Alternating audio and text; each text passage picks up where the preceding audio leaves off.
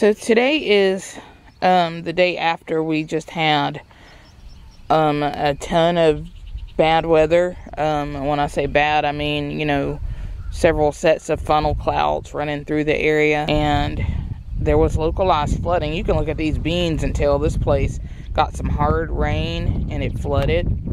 Um, although it did help these beans pop up. There's mud all over the tops of them. Um, those are sunflowers back there.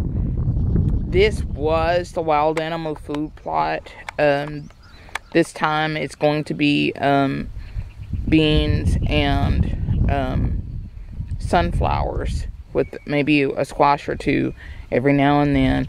But the reason I'm not doing the wild animal food plot here is because we're actually going to just plant um, some um, deer corn and stuff further out. I know you can't see that little swath of grass and stuff where they are. We don't ever plow that over. We don't ever plant that part. We actually skip that and go to the other side. So there's this whole swath of area where they can kind of hide out and be close without being close. And so we're going to um, plant a little bit over there. Way out there in the driveway from the porch of the cabin, one of our seed start trays is over there. So where are our little peat pellet thingamabobbers? Look, I can see the uh, the plastic way out there. That should not be. But I mean, the wind was bad last night. So this is um, a bunch of uh, sunflowers. They're they're I think they're dwarfs. I don't even know now. Um, and the Ali Baba is on this side. The Ali Baba is going to grow enough to, hopefully, um, it'll grow enough to jump out the side, and I'll try to trail it around and shade this area here. And maybe I can get some of this grass to kind of die off after it gets, you know, no sun. Don't have to worry about things getting watered, that's for darn sure. the bad part about using um, soil from the garden is you don't know what kind of weed seeds are in there. Luckily, this kind of grass um, usually has like four or five parts and it has one central root area. So I'm going to pull this out in the next couple of days. You guys want to see a video of me pulling out grass? and there's the repurposed soil bed. Look at those greens right there. I don't think that's kale. I think that is some kind of mustard green. Um, yeah, I think they're mustard greens. Some more of that grass back there behind those tomatoes. Those tomatoes jumped up overnight. Those tomatoes are probably not liking sitting in that water. That drain hole is covered in um, mulch right now. I'm going to have to get a screwdriver or something and poke a hole in that. See how much water that is. The hole's on this side. Well, there's all our trays.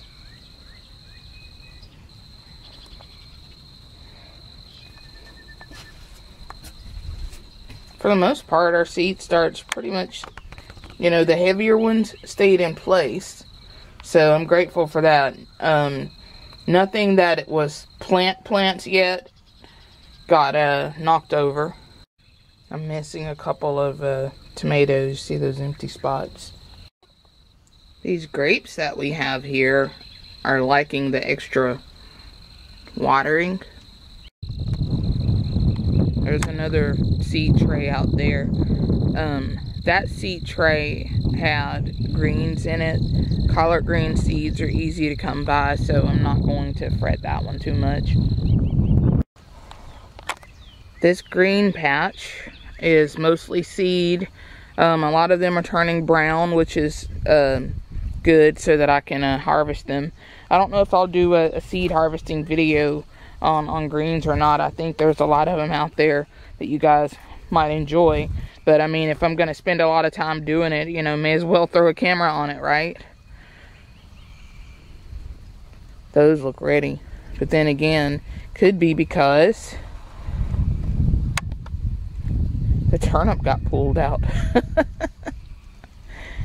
so they may not be ready yet. but there's no more flowers on top and um, well there are a few flowers left so most of the seeds are, are going to be viable which will be good um, that might explain why there's not that many bees around this area the bees have moved over to um, the other side of the yard my gourd is missing the whole thing is missing it should have been right there in that depression. You guys see that right there? That is a paper roll um, for paper that I put over there. One of them is missing. We're going to have weeds coming straight up. They're already, look at that. Look at those weeds. They're like, yeah, boy, freedom. So the fertilizer I um, threw out either washed away or it actually dissipated the way it was supposed to and dissolved um, so that the plants could use it.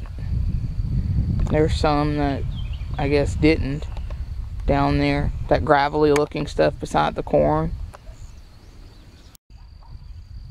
Look at that.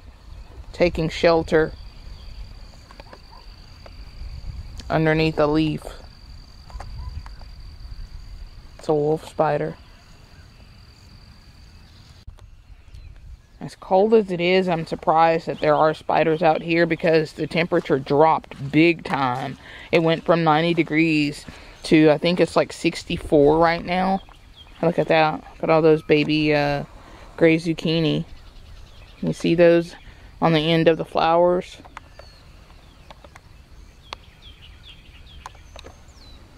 This bed, seriously though, I need to get in here and pull more grass. But look at those peas back there. I'm gonna have a lot of peas to pull. Look at that, there, there's some already uh, hanging off there. I need to get some stakes for these sunflowers. They're starting to bend. Look at that one, that one's curved. I hope I don't break it when I get a stake on it. These guys took a beating. They say there was nickel size hail out here. I wasn't out here enjoying the hail. Alright, I know that wasn't a real update. I just kind of wanted to look out here and see what the damage was um, from all the storms last night. See you in the comments.